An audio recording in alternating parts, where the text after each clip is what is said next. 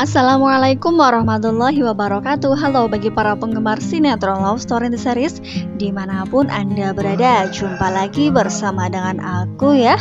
Di kesempatan kali ini Aku akan memberikan informasi dan prediksi terbaru Mengenai kelanjutan sinetron Love Story the Series Di mana ceritanya semakin seru Semakin menarik dan pastinya membuat kita penasaran So stay tune terus di channel aku di Cahaya TV Dan tonton video ini sampai dengan selesai Biar tidak terjadi kesalahpahaman di antara kita.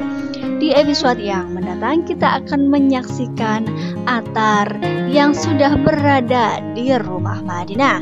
Nah, kira-kira apakah yang akan terjadi ketika ayahnya Madinah melihat keberadaan Rian?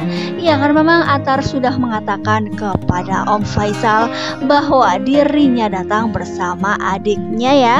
Nah, kira-kira apakah yang akan Rian lakukan? Apakah Rian akan masuk ke dalam rumah ataukah ia akan mencari alasan supaya tidak bisa bertemu dengan ayahnya Madinah.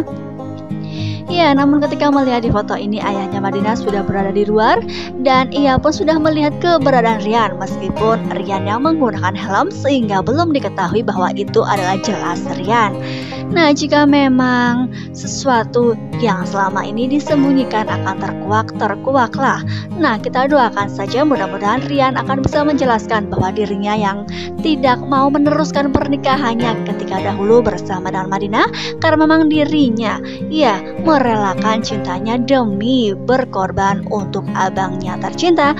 Ya karena memang ia sudah mengetahui abang Rian Ya, Abang Atar maksudnya sangat-sangat mencintai Madinah ya kawan-kawan. Oleh karena itu, kita doakan saja mudah-mudahan ada kejujuran di balik peristiwa yang akan datang ya kawan-kawan. Ya karena memang kebohongan yang ataupun sesuatu yang ditutup-tutupi selama ini pastinya akan terkuak juga ya.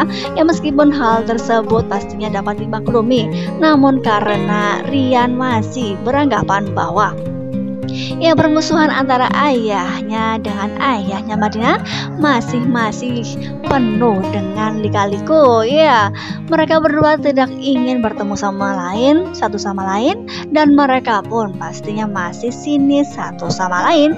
Ya, kemungkinan terbesar di situ Rian tidak akan menampakkan dirinya sebelum ia mendamaikan ayahnya bersama dengan ayahnya Madinah. Ya kita doakan saja mudah-mudahan dengan kejadian ini Rian akan secepatnya bertindak supaya kebahagiaan Atar dengan Madinah akan segera tercipta. Ya, pastilah di sini ayahnya Madinah akan sangat bahagia karena memang melihat putrinya seperti bahagia tidak seperti sebelum-sebelumnya karena memang sebelum-sebelumnya ia meminta kehendak putrinya sendiri. Iya.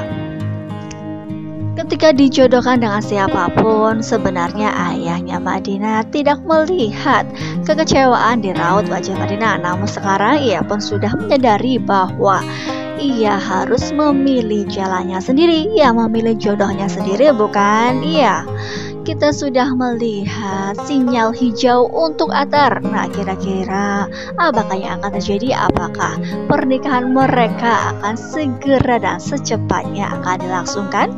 Ya, kita doakan saja mudah-mudahan perdamaian antara ayahnya Marina dengan ayahnya Atar akan secepatnya terjadi. Ya, mereka berhak bahagia Marina dengan Atar bukan karena memang sudah lama sekali Atar berjuang untuk mendapatkan cinta Marina. Nah, sekarang permasalahannya ada di kedua orang tua mereka. Ya, begitu juga dengan Dilan bersama dengan Vanessa. Iya, sinyal-sinyal cinta akan mulai tumbuh karena memang semua orang mendukung perjodohan antara Vanessa dengan Dr. Dylan. Ya, Argadana, Tante Safira, Oma Risma, Ken dengan Maudie menginginkan mereka akan segera berjodoh karena memang ya pernikahan Rama dengan Vanessa sudah tidak sehat lagi pernikahan yang disembunyikan dan pastinya jika memang Mama Dinda akan mengetahui pastilah ia akan marah besar bukan ya di sini pun Tante Safira akan sangat-sangat mengharapkan Vanessa yang bisa melepaskan Rama. Ya meskipun mereka saling mencintai namun pernikahan tersebut seharusnya tidak disembunyikan karena memang akan membuat sakit hati terutama Vanessa bukan ya? Sebagai perempuan pastinya ia akan merasakan kekecewaan meskipun ia masih berstatus menikah dengan Rama. Namun pernikahan tersebut harus disembunyikan bukan ya? Kita doakan saja. Mudah-mudahan Vanessa akan secepatnya bisa mengambil keputusan meskipun ia pahit di awalnya karena memang harus berusaha dengan Rama. Namun kemungkinan terbesar kebahagiaan bersama dengan Dr. Dilan sudah berada di depan mata. Ya kan memang dokter Dilan pun sudah berjanji kepada ayahnya bahwa dirinya akan menikah dengan Vanessa, bukan?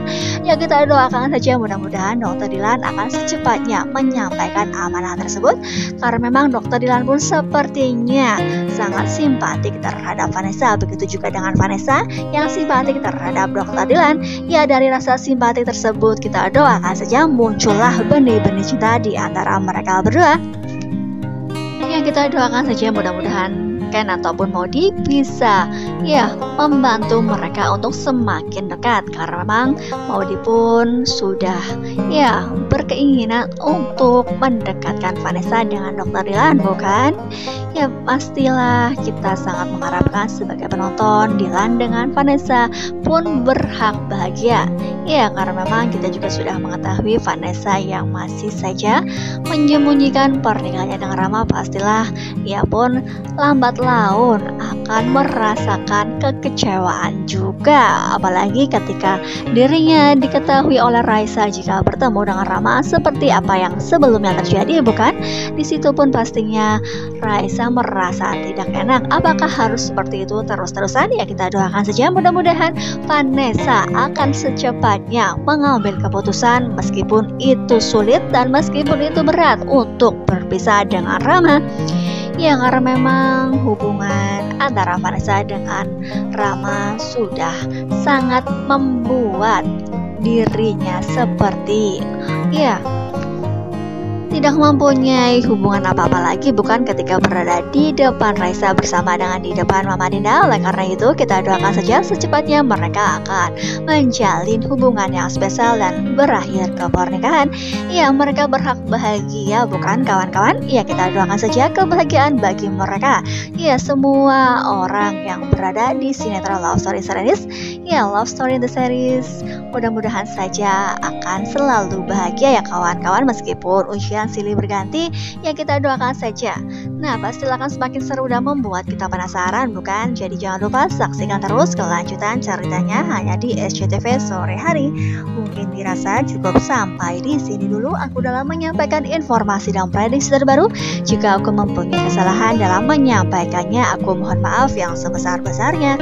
Terima kasih bagi kalian yang sudah menyaksikan video ini sampai dengan selesai. Wassalamualaikum warahmatullahi wabarakatuh.